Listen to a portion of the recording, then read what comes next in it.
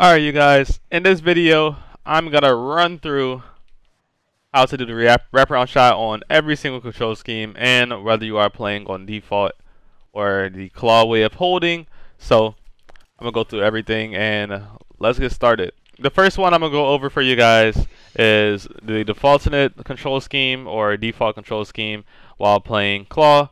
It is the easiest way to do the wraparound shot because you don't have to remove your fingers from the analog sticks and while you're pressing a button. So all you're doing is literally hitting a cover, pressing up on your left stick, pressing A, shooting, and then holding A so you can keep going. Or you can pull back on your left stick and hold A so you can go a different direction.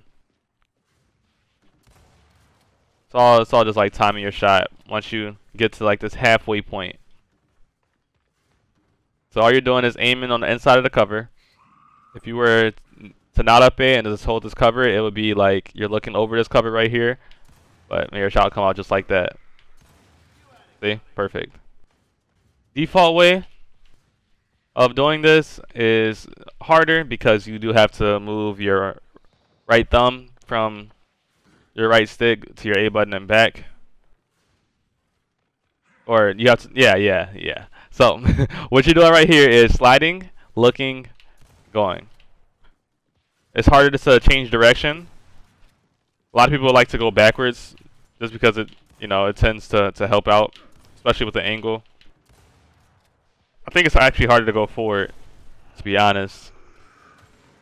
But it's um all of these throughout every single control scheme is literally the same pattern. It's just learning how to do it uh, while playing on your way of playing the game.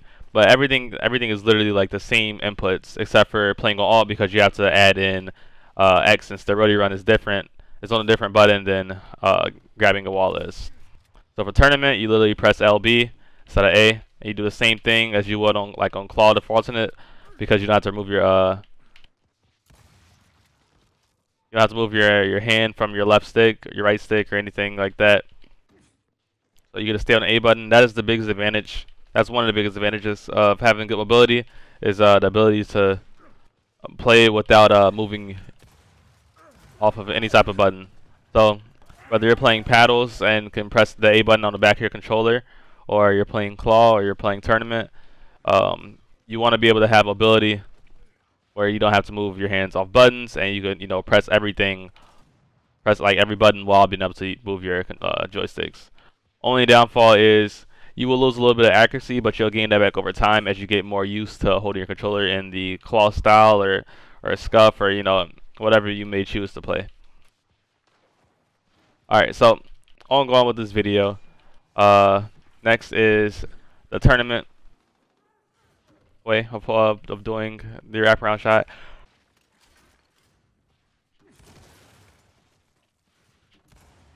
You see how you like wait like half a frame just so you can see your opponent's like head and you uh, enter the like the end of the up A. So your character's still crouched like like as if he's coming out of a roadie run, and that's when you want to shoot. It's right when you come around the corner. It's pretty fast. So you can also look at the timing of when I shoot uh, by looking at the controller interface on the right side of the screen. Definitely be using that when watching this tutorial. It's very helpful.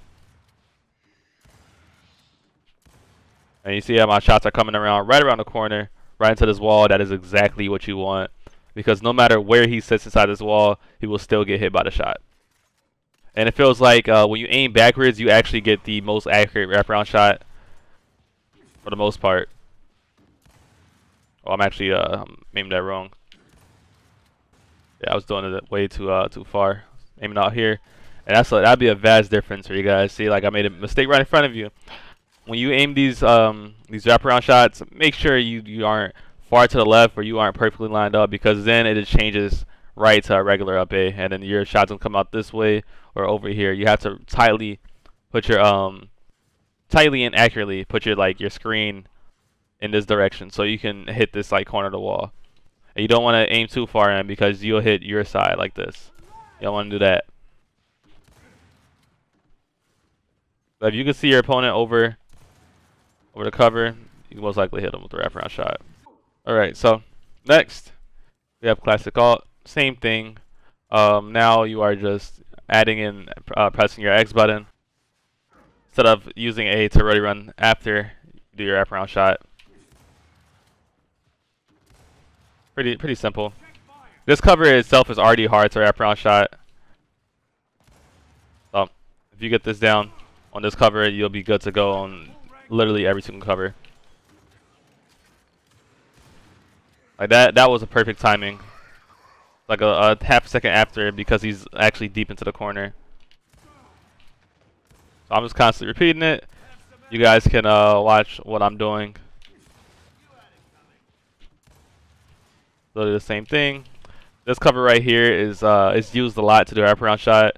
You see it's not as thick. And it doesn't have like these little these little edges. Uh, that's where your shot will come around the corner from, not the bottom. And it's also easier if your opponent is on the edge of the cover because their head is a little bit exposed, so you'll probably get a headshot sometimes. But on a thicker cover like this, what you would have to do um, is you have to delay your wraparound shot like that. And that wraparound shot is more effective when your opponent's already a little bit hurt. And it it's a little um, dangerous because if you do just crack your opponent, you've now entered the chunk range so they can get off the cover and literally walk at you.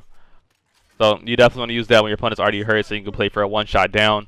Um, you can use that on even wider covers like the cover that's called I on Asylum. Um, it's right it's right in the middle of of the two tracks and is where the boom shot spawns. So I'm pretty sure you guys probably know what I mean by saying that. So uh, yeah, the wraparound shot is a very useful shot.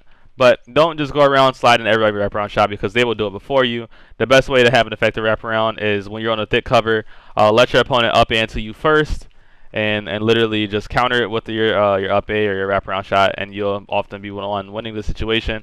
Uh, usually, if you are the first one to go for wraparound shots when you and opponent are across from each other on cover, you will probably die simply because they're holding a shot and you fully expose yourself when you um when you go for the wraparound first. Alright, um, I'm not to be playing on face trigger or shooter because I don't think anybody plays that control scheme. I also don't think they're good control schemes in this game either.